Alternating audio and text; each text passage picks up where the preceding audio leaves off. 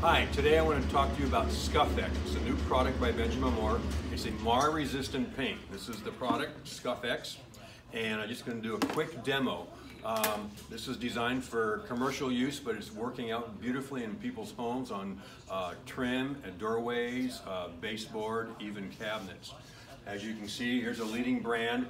I've got a rubber mallet, the same rubber you're going to find on the bumper of a vacuum cleaner, kids' shoes, things like that. Uh, you can see that it does mark crazy on the competitor side. However, our Benjamin Moore Scuff X is totally mar resistant. Eliminates scuffs and dirt and grime better than any other paint we've seen. It's fairly new and it's taking uh, Northern California by storm. It's really selling well and perf performing excellently. So you might give it a thought uh, on your next painting project. Thank you.